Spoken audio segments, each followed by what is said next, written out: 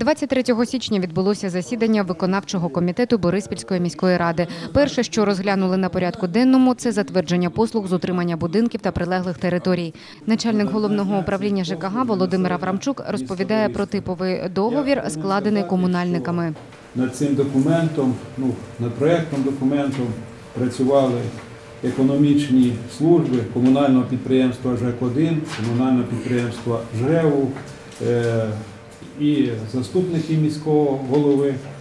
Вивчали досвід, де значить, практично в обласних центрах безпосередньо виїжджали і працювали через такі сучасні засоби, як інтернет, У документі представлено перелік послуг, що надаватимуться для населення і будуть включені у житлово-комунальний тариф. Це щоденне прибирання під'їздів та прибудинкової території, щомісячний ремонт внутрішніх систем гарячого та холодного водопостачання, а також каналізації, освітлення місць загального користування не менше одного разу на місяць. За кожним житловим будинком розроблено кошториси, у тому числі тариф за вивезення сміття в будні та у вихідні.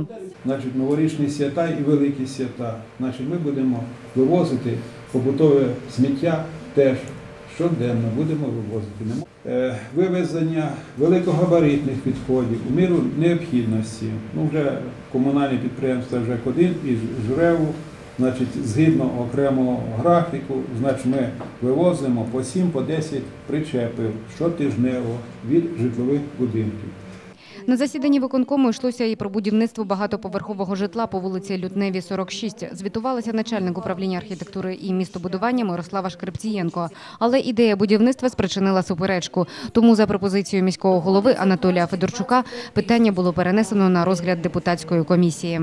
Буде те, щоб потім не вийшло, що ще місто буде доплачувати 500 квартир побудують, а ми ще будемо їм платити, ви сказали, сьогодні 8 мільйонів, а замість 8 мільйонів, які вони повинні бути нам, в лучшому випадку ми вийдемо на нульовий варіант. Серед інших питань, що розглядалися на засіданні виконкому, були встановлення опіки над неповнолітніми дітьми Денисом Івановим та Олександром Решетіловим, клопотання щодо присвоєння почесного звання мати героїня громадянці Надії Щегель, а також рішення про заснування у Борисполі модельного агентства краси, етики та успіху. Останнє було створено за ініціативи молодіжного парламенту. Олександра Шостак, Сергій Кручинін. Новини телеканал Бориспіль.